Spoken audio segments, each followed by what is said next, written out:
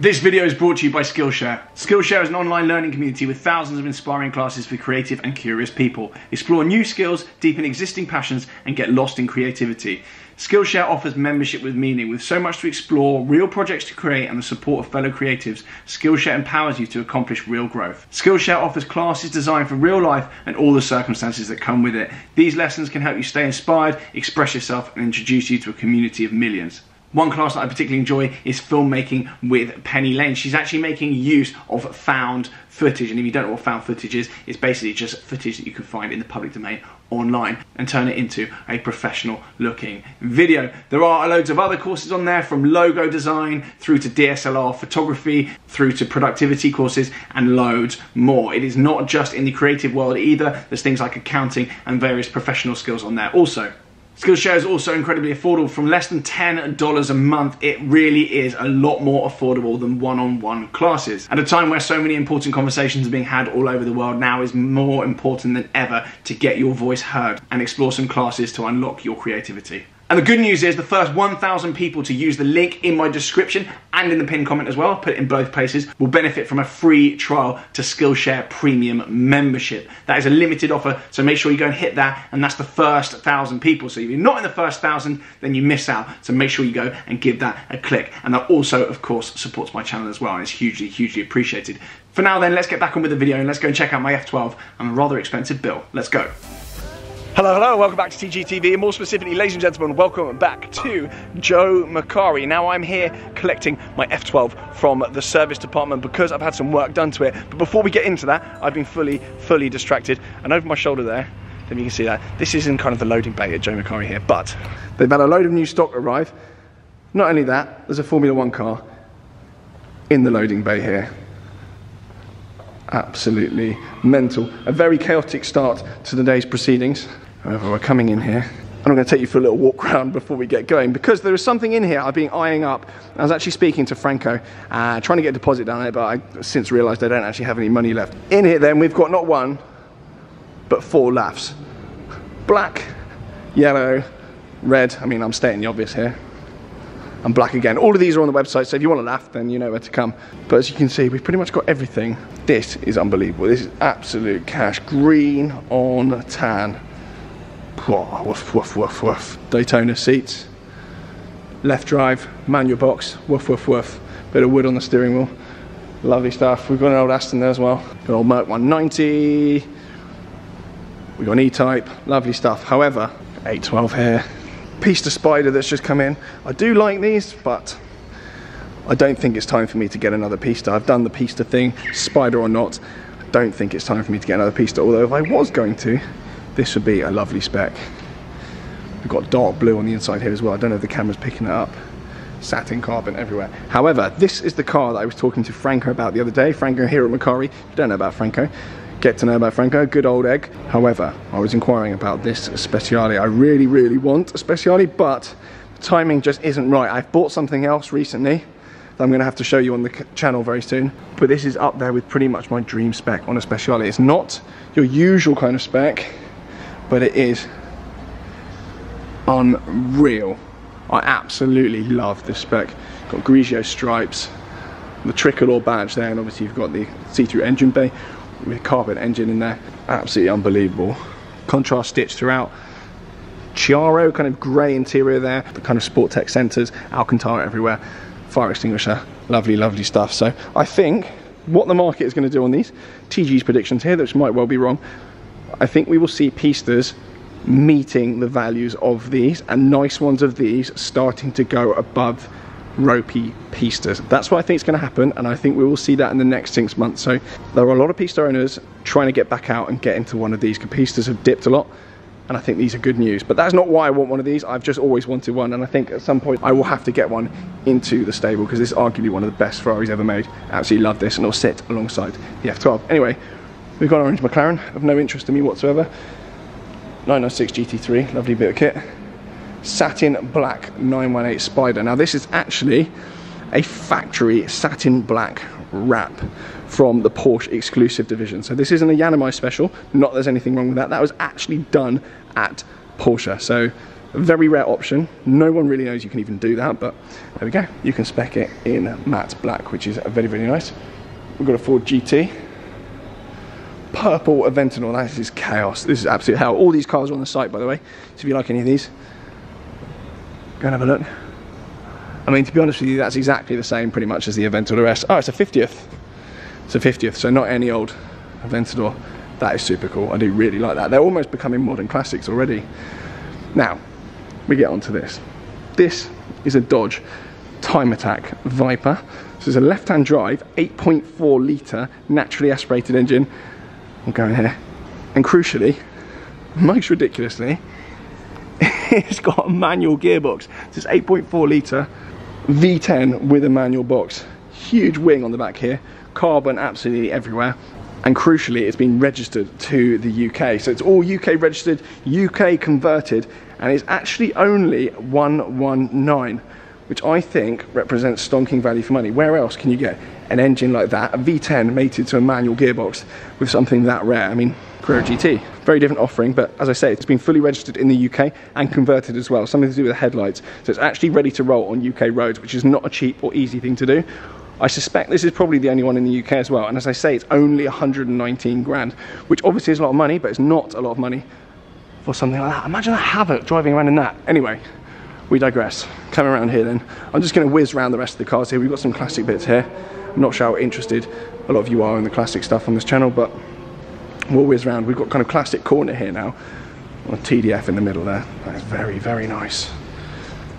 I saw this at the service department the other day, I think when it was getting PDI'd before it came in. Whoa, woof. Coming around here then.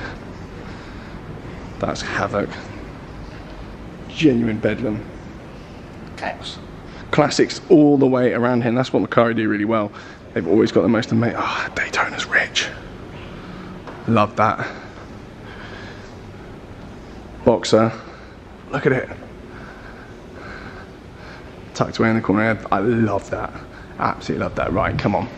Getting distracted. Getting fully distracted. Fully, fully distracted. I think that's enough waffle then. It's time to go and grab my F12 from the service department, which is actually around the corner if you haven't been to Macari before. And it's time to tell you exactly what's happened to my F12 and how much it's cost me. Now, it's a short walk from Macari Sales Centre to the service centre. A little bit of background then on my F12. This is its second service and its second MOT that it's been for since I've had it. I bought it in February 2019? Yeah, February 2019, meaning I've had it for nearly two years now. I bought it with about two and a half thousand miles on the clock. It's now done 4,200, 4,300, something like that. It's on the MOT certificate. So it's safe to say I've not used it that much, but then when you've got 10 cars, you don't really use them that much anyway, especially if you've got five jobs like me. So it's not had a huge amount of use. However, being a 66 plate F12 from 2016, late 2016, it came with the balance of the service pack on it. Now that means it's got the balance of the service pack on it and I believe that this now is its last free service, possibly. Maybe it's got seven years free servicing actually. Maybe it's not my last free service. The warranty has run out though. The warranty has literally just run out, so I've renewed the warranty. Up until this point then, the amount that I spent on this car is actually £110 in total. That's two MOTs at £55 each, which I don't think is too bad a value. We're just approaching the service centre now. So here around the corner, and this is where a lot of the magic kind of happens. And you often get some ridiculous cars just sat around here. We've got a couple of Calis, and we've got a Dino Speciale, FF, Pista, FF again. We've got my F12 here, but I just want to show you this very quickly. This car here is a one-off, tailor-made Lusso. And inside here, this is actually owned by a gentleman who's got a TDF as well. I don't know if you can see that in there. But it's one off. You've got a little plaque in the middle there. I don't want to touch the windows or anything. Um, but it's all in all a ridiculous spec, silver wheels. And what's interesting to note about this car, no shields. Little touches here on the front. And also these fog lights. Now these are done by a kind of a, a third party Ferrari specialist. Um, I'm not going to tell you the details of it because everyone will go and get them done and I don't want to uh, do the guy dirty. but these here are a kind of specialist option. He's also got them as TDF. Really, really cool. And I'd actually love, love, love to put them on my F12. So here she is then, ready to collect. I need to go and put my card in the machine and pay some money over, but she's here, she's back. Fully now warranted up and ready to go uh, and obviously with a service as well. So I always like getting a car back from service. It always drives a little bit better. Whether or not that's psychological I don't know. We've also got my scooter here. So I'm actually going to fold the scooter up and put it in the passenger seat here and then I'm going to drive home. We've also got some other little bits and bobs here. Just coming through. I don't want to shove the camera in anyone's face too much. I don't think I'm really allowed to film in here but see through the door. See through the door over there there's a 250 GTO in there, it's about 60 million quid's worth. The more pedestrian cars, like mine, get serviced in there. That's where they all go.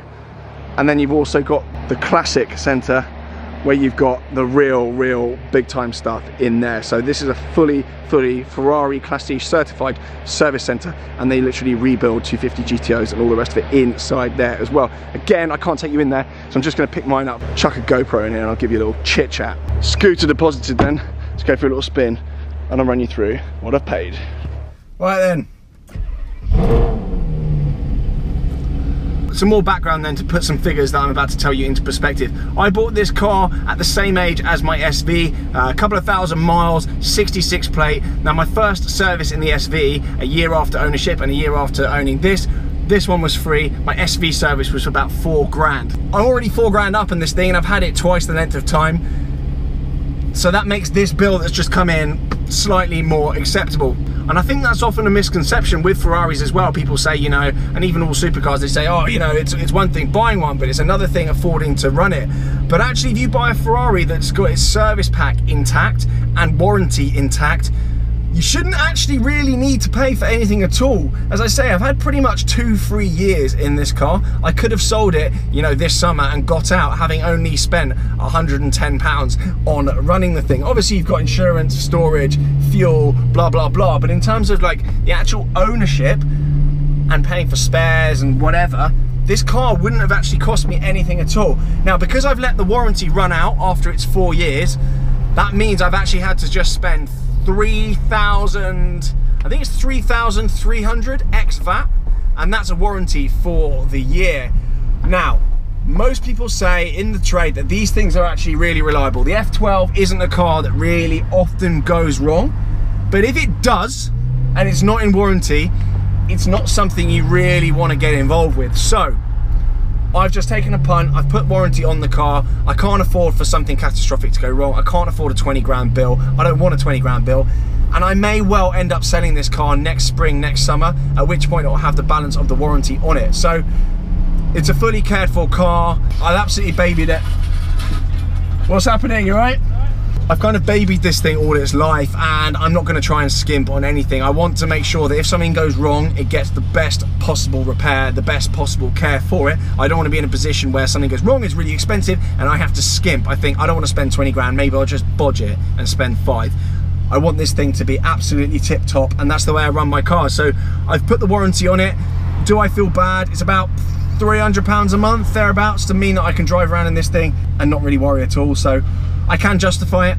I think it's fine. It's a little bit on the expensive side. It's not ideal, especially this time of year, but whatever. The bigger things to worry about. So that's it really. That's my first bill on my F12. So it's cost me three, well, including VAT, 3,700, 3,800 odd quid.